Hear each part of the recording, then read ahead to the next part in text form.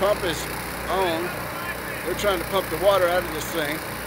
It's the three girls sunk during Hurricane Matthew earlier this month into the East River off of Mary Ross Park in Brunswick.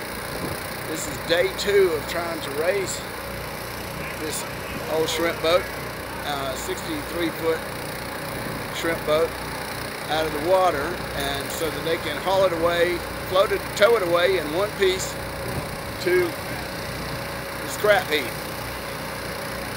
Uh, a lot of progress has been made today. They just might get this done. This is Larry Hobbs with the news and we'll keep you covered.